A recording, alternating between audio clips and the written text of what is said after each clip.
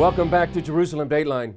They are a people without a country, and now the Kurds are facing a vicious assault from the terrorists of ISIS. Is the United States doing enough to help them? Gary Lane has a look at the crisis facing the Kurds and the history of these remarkable people.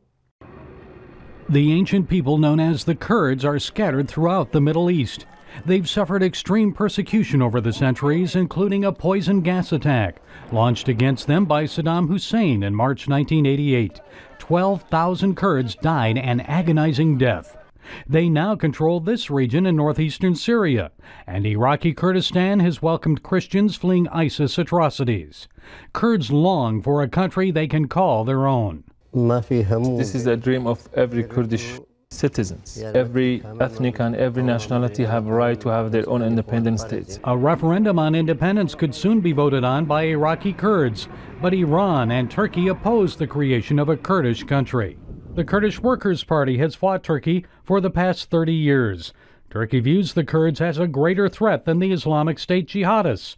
Instead of fighting ISIS, the Turkish Air Force recently bombed Kurdish fighters near the border. The Turks uh, are acting with the slogan, the enemy of my enemy is my friend. So ISIS is now, in that case, a friend of Turkey. And that further complicates U.S. efforts to stop ISIS. In the book The Miracle of the Kurds, best-selling author Stephen Mansfield explains why the Kurds need Western support and how a Kurdish nation could serve as a model for the future of the Middle East.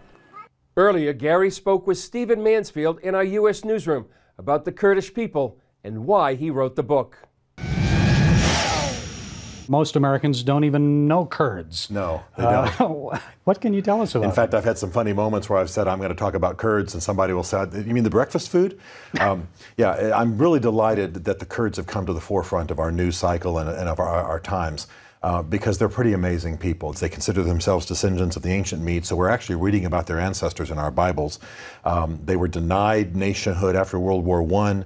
Um, and now, after Saddam's atrocities against them, finally the West began to pay attention.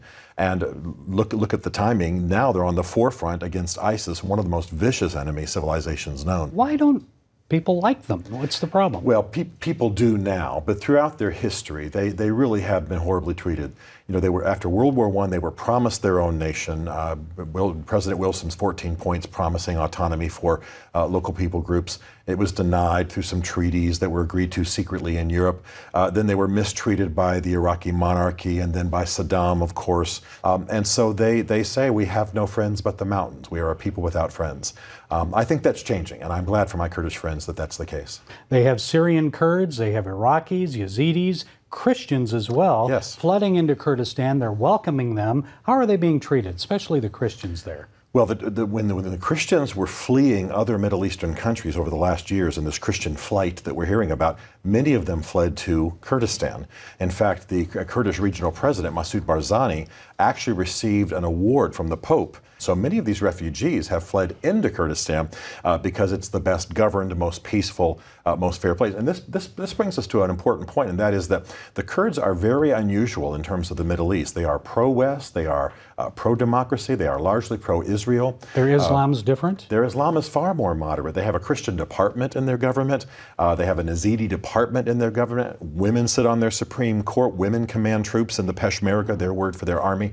This is a moderate version of Islam, exactly what the United States should want to encourage. Things turning a little bit here. What more needs to be done to stop ISIS near the border there? Well, you've got we've got to arm the Kurds directly, and that's something that the administration has been very hesitant to do. U.S. foreign policy has been based on the idea that we wanted a unified Iraq, so we wouldn't deal with the Kurds directly. Not going to happen, is it? It's just not going to happen. Baghdad is relatively corrupt, as we know. The military pretty much abandoned the field when they came up against ISIS, but the Kurds stood solid, and now the administration has decided to uh, provision the Kurds and to arm the Kurds, and we're seeing a dramatic change. We're also seeing a dramatic change in Turkish policy towards the Kurds. So things are going in the right way.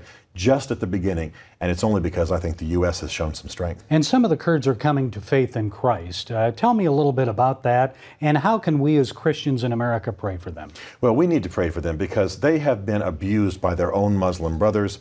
Uh, Saddam wrapped himself in Islam to oppose and to destroy the Kurds, to commit his atrocities against them. There have been many, many valiant missionaries and ministers over there, and many Kurds are coming to Christ. And it's because that now there's a free marketplace of ideas, a free marketplace of religion. They're hearing who Jesus is. They're seeing that Christians have been some of the people most uh, caring about them and most supportive of them. And so as a result, we're seeing a great harvest there. Okay, very good. It's, a, it's an excellent read. I've Thank read it myself. The Miracle of the Kurds. Thank you, Stephen Mansfield, for being with us. Great to be with you. Thank you.